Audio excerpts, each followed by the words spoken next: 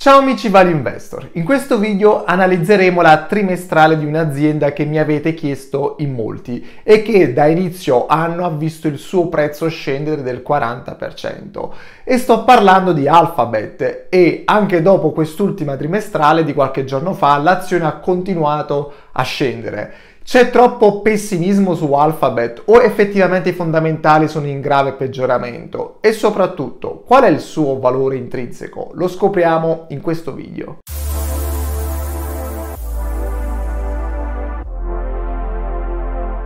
Iniziamo a vedere subito come è andata questa trimestrale. Innanzitutto ha deluso gli analisti, sia per quanto riguarda le revenue che i profitti. E vabbè, ci dispiace per gli analisti, ma andiamo a vedere i numeri più nel dettaglio e vi anticipo che secondo me nella trimestrale di Alphabet ci sono alcune analogie con quella di Meta che se non avete visto vi consiglio di andarla a vedere. Le revenue sono cresciute solo del 6%, ma c'è da dire una cosa, che è un 6% su un 39% di crescita di Alphabet nel Q3 2021 rispetto al Q3 2020, quindi era molto difficile fare tanto meglio perché il dato del Q3 2021 è dato da un anno eccezionale e questo è un problema comune a tante aziende, soprattutto a quelle tech tipo Amazon, Apple o anche Meta. Inoltre l'effetto super dollaro ha inciso molto, infatti senza l'effetto cambio la crescita delle revenue sarebbe stata a doppia cifra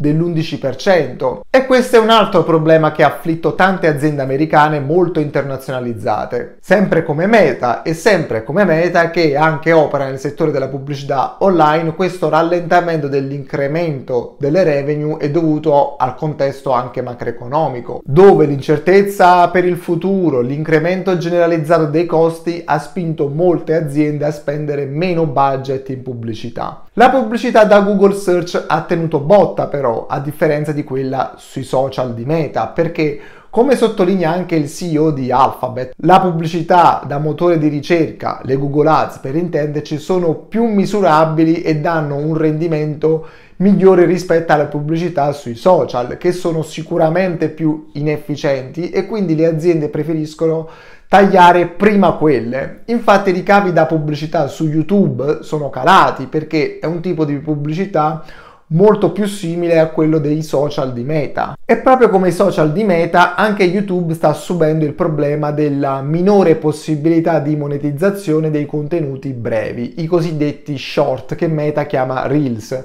Gli short stanno conquistando una percentuale di watch time sempre più grande su YouTube e quindi anche le entrate pubblicitarie ne risentono. YouTube ha detto che sta correndo ai ripari aumentando la monetizzazione degli short io personalmente ho notato che sto iniziando a guadagnare qualcosa sugli short, ma al momento sono pochi centesimi, non mi pago nemmeno un caffè per uno short. Il business di Google Network anche è in calo, che sarebbero i banner pubblicitari che vi appaiono nei siti o sulle app e questo calo è dovuto a una minore spesa degli inserzionisti per le ragioni che abbiamo detto prima, ma anche per il boom dei giochi sul Play Store che esisteva nel 2020-2021 a causa della pandemia che però adesso si è esaurito. Andiamo adesso al cloud che è il business più in crescita di Alphabet con uno spettacolare più 38%. Infatti Alphabet ha dichiarato che il cloud è la priorità dell'azienda e quindi continueranno ad investirci molto. Infatti non è ancora profittevole come business per via degli investimenti necessari per farlo crescere, perché vanno comprati i server, ma non solo. Prima di comprare i server vanno comprati i terreni, poi costruito l'immobile che conterrà questi server e man mano che si vuole aumentare la capacità di storage bisogna comprare altri server e poi comprare server sempre più aggiornati e poi bisogna investire nei sistemi di raffreddamento di questi server e poi bisogna mettere in conto tutta l'energia elettrica che andranno a consumare e ovviamente anche il costo degli ingegneri. Quindi quello del cloud è all'inizio un business molto capital intensive che però raggiunto una massa critica di utenti si generano economie di scala e il business può diventare molto profittevole. Basta vedere che il cloud di Amazon è quello che tiene in piedi i profitti dell'azienda, perché fosse per l'e-commerce sarebbero in perdita secca. Comunque il cloud di Google conta già più di 8 milioni di utenti business che poi sono quelli che fanno il grosso delle entrate ed è un dato previsto in grossa crescita. Quello che ha fatto scendere i prezzi dopo la trimestrale però sono stati i profitti in calo a causa dell'aumento del 13% del costo delle vendite e il principale fattore che ha causato questo aumento sono state le spese per i data center e secondariamente i costi di hardware per la linea Pixel. Poi ovviamente ci sono stati anche aumenti di costi in ricerca e sviluppo, sales e marketing.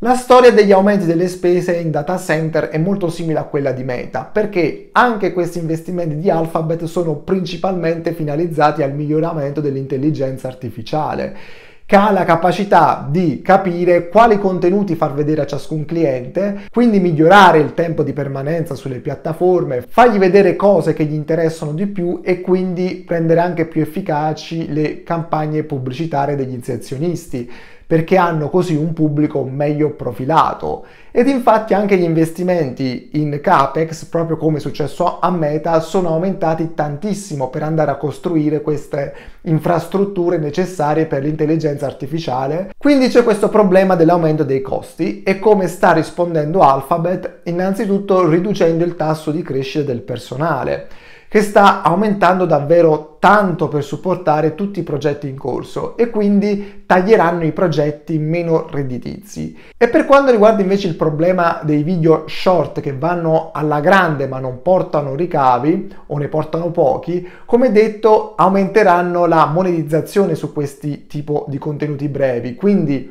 aspettatevi di vedere prossimamente come succede sui reels di Meta qualche banner pubblicitario in fondo ai video short oppure uno short sponsorizzato dopo un tot di video visualizzati. E comunque anche se YouTube ha perso leggermente ricavi, sta andando comunque alla grande. Pensate che secondo i dati Nielsen, nel mese di settembre YouTube è stata per la prima volta il leader nel TV streaming a livello di visualizzazioni negli Stati Uniti. E questo dato può solo crescere perché Nielsen ha evidenziato come lo streaming sta togliendo sempre di più share alla TV tradizionale. Allora vi dico la mia su questa trimestrale. Non riesco a spiegarmi la reazione negativa del mercato. È il solito mercato secondo me miope che non riesce a vedere oltre i 3-6 mesi.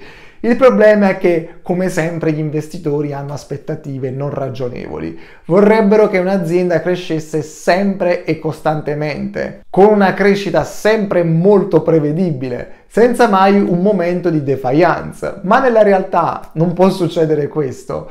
C'è un periodo dove un'azienda cresce in maniera anche costante, magari, però poi arriva prima o poi quel periodo dove cresce di meno o non cresce assolutamente e deve ottimizzare il business, deve riassettarsi, deve innovarsi per poi riprendere a crescere. Quindi a questi prezzi per me Alphabet mi sembra un buon affare anche perché questo calo del prezzo non è giustificato perché parliamo di un'azienda che negli ultimi 10 anni ha aumentato il free cash flow mediamente del 20% all'anno, sia che guardiamo gli ultimi 10 anni come periodo, sia che guardiamo gli ultimi 5, quindi cresce in modo costante. Se per assurdo per i prossimi 10 anni crescesse della metà, del 10% all'anno in media, sarebbe comunque un ottimo affare. Quindi secondo me Alphabet è un buy, ma non è che dobbiamo comprare per forza tutti i buy, dipende anche molto dalla vostra strategia. Bisogna guardare secondo me anche le altre alternative sui mercati,